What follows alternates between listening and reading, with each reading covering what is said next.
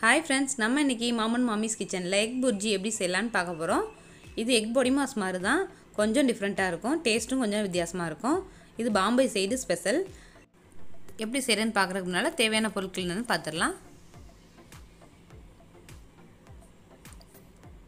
Egg bhurji செய்கிறதுக்கு முதல்ல கடாயை அடுப்பில் வச்சு காஞ்சதுக்கப்புறம் ஒரு நாலு ஸ்பூன் ஆயில் விட்டுக்கலாம்.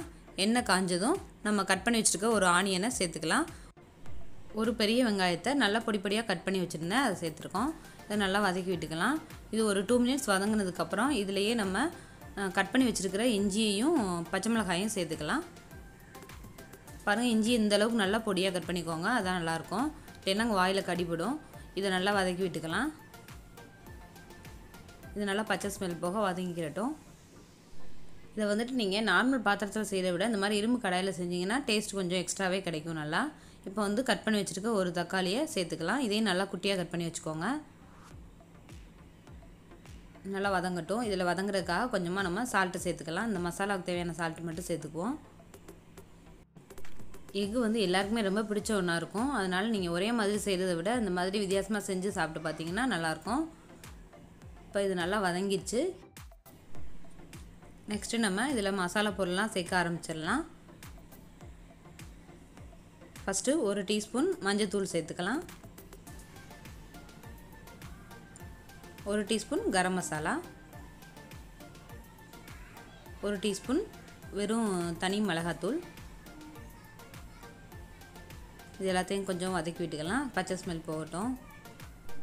இந்த மசாலாலாம் நல்லா பச்சை ஸ்மெல் போக வதங்கினதுக்கப்புறம் நம்ம நல்லா பீட் பண்ணி வச்சுருக்கோம். எக்கை ஒரு மூணு முட்டை எடுத்திருக்கேன் இன்றைக்கினா அது நல்லா கொஞ்சமாக மஞ்சத்தூளும் கொஞ்சம் உப்பும் சேர்த்து நல்லா பீட் பண்ணி வச்சுருக்கேன். அது சேர்த்துக்கலாம். அதுக்கு முன்னால் கொத்தமல்லியை சேர்த்துக்கலாம். மல்லி இலை தான் இதோட மெயினே இது மல்லி இலை தான் நல்லா ஃப்ளேவர் கொடுக்கும் உங்களுக்கு புர்ஜிக்கு. இது நிறையாவே சேர்த்துக்கலாம் நல்லா தாராளமாகவே இப்போ கொஞ்சம் சேர்த்துக்கலாம். அப்புறம் லாஸ்ட்டாக கொஞ்சம் சேர்த்துக்கலாம்.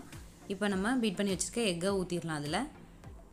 எக்கில் கொஞ்சமாக மஞ்சத்தூள் அந்த மூணு எக்குக்கு தேவையான உப்பு சேர்த்து ஏற்கனவே பீட் பண்ணி வச்சுருந்துருக்கேன்.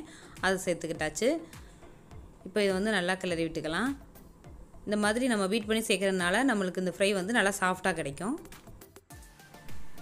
பாருங்கள் எக்கு நல்லா ஃப்ரை ஆகி வந்துடுச்சு இந்த ஸ்டேஜில் நல்லா ஃப்ரை ஆனதுக்கப்புறமா லாஸ்ட்டாக நம்ம ஒரு டீஸ்பூன் ஜீரகத்தூளும் ஒரு டீஸ்பூன் பெப்பரும் சேர்த்துக்கலாம். ஜீரகத்தூள் ஒரு டீஸ்பூன் சேர்த்துட்டாச்சு. இது கூடவே பெப்பர் ஒரு டீஸ்பூன் சேர்த்துக்கலாம். ரெண்டுமே லாஸ்ட்டாக சேர்த்துக்கோங்க. அப்போ தான் நம்மளுக்கு ஃப்ளேவர் கரெக்டாக கிடைக்கும். எக்கு வந்து ரொம்ப நேரம் அடுப்பில் வச்சுருக்க தேவையில்லை. சீக்கிரமே குக் ஆகிடும் ரொம்ப நேரம் குக் பண்ணிங்கன்னா கொஞ்சம் ரப்பர் மாதிரி ஆகிடும் அதனால் சீக்கிரமே ஆஃப் பண்ணிடுங்க போதும். இப்போ நம்ம மல்லி இலையை லாஸ்ட்டாக சேர்த்து விட்டுக்கலாம். இப்போ வந்துடுச்சு நம்மளுக்கு சூப்பரான எக் புர்ஜி ரெடி ஆயிடுச்சு. நீங்களும் இதை கண்டிப்பாக வீட்டில் ட்ரை பண்ணி பாருங்கள் எப்படி இருக்குன்னு எனக்கு கமெண்ட் பண்ணுங்கள் இந்த டிஷ் உங்களுக்கு பிடிச்சிருந்ததுன்னா மறக்காமல் மாமன் மாமிஸ் கிச்சனை லைக் பண்ணுங்கள் ஷேர் பண்ணுங்கள் சப்ஸ்கிரைப் பண்ணுங்கள் தேங்க்யூ ஃபார் வாட்சிங்